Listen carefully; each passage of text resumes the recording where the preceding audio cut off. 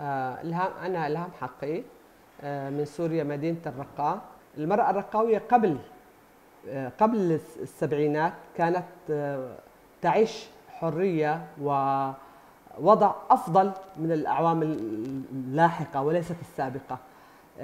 كان يجونا ضيوف من حما يقولوا إن الرقة باريس المرأة الرقاوية هي أخت الرجال تستقبل الضيوف في بيتها وبشكل عادي.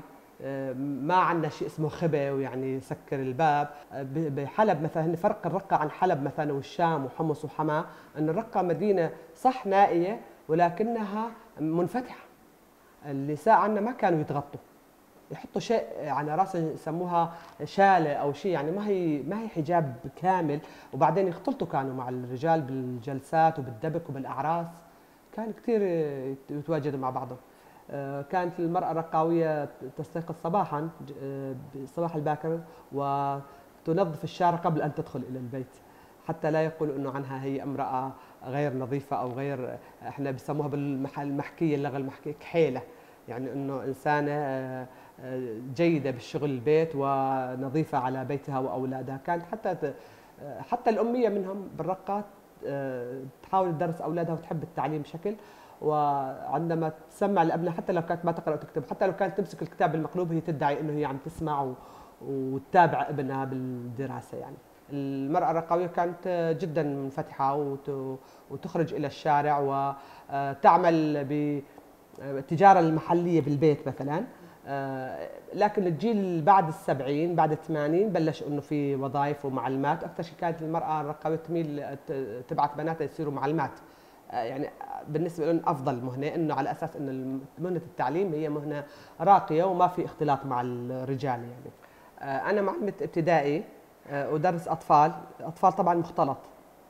لكن في بين بسنة بالثمانينيات تقريبا آه، جاء قرار مفاجئ بعزل المرحلة الإعدادية والثانوية بعزل البنات عن الشباب. فجاءوا بشاحنات وضعوا الذكور بهذه الشاحنات ونقلوهم إلى مدارس أخرى عزلوهم عن البنات. آه هذا التصرف آه طبعا إحنا اعتبرناه هو آه، تجربة على فئران يعني. هم أجروا التجربة هاي فقط في مدينة الرقة. أنا اعتبرتها ارتدادية اعتبرت هاي المرحلة ارتدادية وليست للأمام. آه، وحاولوا يريفوا الرقة يعني يجيبوا أهل الريف ويسلموهم المناصب النظام يعني لترييف الرقة. آه، كون الرقة كانت بطريقها إلى آه، أساسا الأدباء بالرقة كانوا كثير عددهم كبير وكانوا معروفين بالرقه كانت معروفة بأدبائها المشهورين المميزين. آه، هن شعروا النظام إن الرقة في طريقها إلى الاستقلالية ما بدهم إياها تتقدم هاي المدينة. فخليها يلتهوا بخبزهم وبإنه هذا شاب وهذا بنت ويبتعدوا عن بعضهم مشان ما يضل متجهين باتجاه الصح. آه، بعد السبعينات آه، كون إحنا معلماتنا كانوا من غير مدن بسوريا المعلمات من الرقة كانوا قلائل ومعدودين على الأصابع.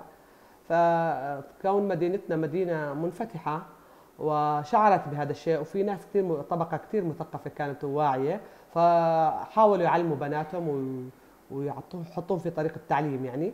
فصار عندنا مستوى إنه من المعلمات لا بأس به من عدد لا بأس فيه من المعلمات الرقاويات. فهذا الشيء ساعد إنه بالإكتفاء بهذا الشيء. وحتى هذا الشيء آه، في الفترات الأخيرة آه، أصبحوا يضعون بنات الرقة في القرى ويأتون ببنات آه، من طرفهم من لاذقية وبنياس ويضعوها في مدينة الرقة. لأنه كمان شعروا أنه اللي سيطر على التعليم هن النساء الرقاويات فهن ما بدهم هالشيء هذا. إحنا ما ضد إنه يجيبوا لنا معلومات من غير مدن بالعكس انا كنا نحب الضيوف ونحب الاغراب ونتعامل معهم كثير بود. وحتى هذا الشيء ما خلانا نتعامل بقسوة معهم. بس إحنا كنا نشعر إحنا الطبقة المتعلمة يعني نقول عن حالنا نشعر إنه في في في شيء عم ينحاك حولنا. كنا شاعرين بهذا الشيء بس ما كنا نقدر نحكيه بشكل علني لأنه كان في كثير تضييق آه، أمني يعني.